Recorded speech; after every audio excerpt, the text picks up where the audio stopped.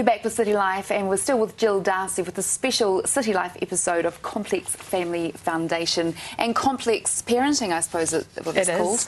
Now, what we were talking about before the break was the three biggest issues when it comes to divorce it's Mm-hmm. communication, routines, and money. Let's talk about money. Money, we all want more of it, and certainly, as I said previously, if you can hurt your ex by getting more, then um, it's a lot of fair game. That's pretty much the philosophy that is out there. Unfortunately, I uh, take quite a different stance on this because it is so raw to most of us. I take quite a different level where I say, listen, money can be a fantastic servant, not a great master. So don't let it rule your decisions. And keep it in focus. If we can keep that children are the most important here, not money, we will solve a lot of our court issues to start with. There's two parts when it comes to money. One is the amount that possessions, you know, your, all your assets that you divvy up when you go through a divorce, and that can turn really septic even if there aren't children involved. But if there are children involved, then please keep it in mind on what is the children's home, what is their environment, what is important to them, because as a parent, that is your responsibility of keeping that intact as much as you can. Hmm. The second part of what we look at is how the money that's transferred, whether you're a payer or a payee, and that's ongoing for years. Now, often in New Zealand, we have the benefit, and if you are on the benefit, then the government takes the money from your ex, and it's all fed through this way. So, a lot of those arrangements are predefined. But if we are not inside that structure, and we're looking at people who come up with private agreements or people who have come up with court ruling agreements, then there's ways that we need to look at this of keeping it in line.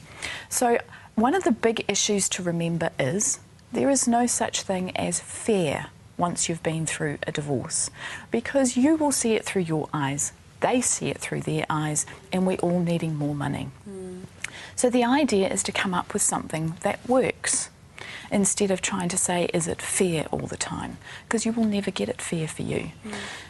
The part of a, let's say, the person who is paying the money, there's a little saying, pay but no play.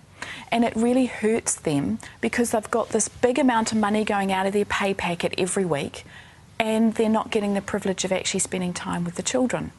Now, the one who's receiving the money is often going, yeah, but I'm the one who can't hold down the high paying job now because I've got the restriction. I need to be there to pick up my children. I need to be there to drop them off in the morning.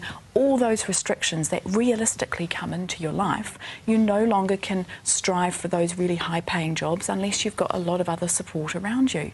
So there's a lot of sort of give and take. That's what I mean. It's not fair. It mm. doesn't matter. Mm. So one really good solution I've had to come up and overcome the ongoing payment issue is I've worked with a mother, she's got three children.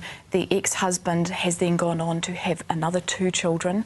And of course, now we've got five kids. As soon as he has more children, he doesn't have to pay as much legally, okay, because that's all part of the way that New Zealand structure's made up.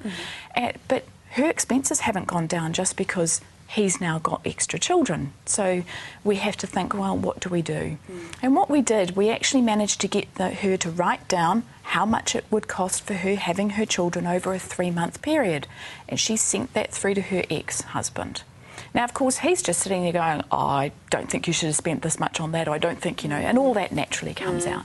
But what she managed to do was through a very common technique I've used with hundreds and thousands of families is set up a separate bank account. This is only for money that is paid from your ex. The money goes in there, she uses it for the children. And it's to buy the school uniforms, pay for the stationery, the lost shoes, suddenly that money's there. Mm. All that type of thing, school trips, doesn't matter, in there. If there's more money, take the children on holiday with it. It doesn't matter. You know, it's all about benefiting the children. Mm. And what actually happened in this case, the ex husband was willing to pay more than what he legally needed to because he knew the money was going directly to the children, mm. not to support her lifestyle. Mm. Okay. All right. Now, we'll be back with you after the break.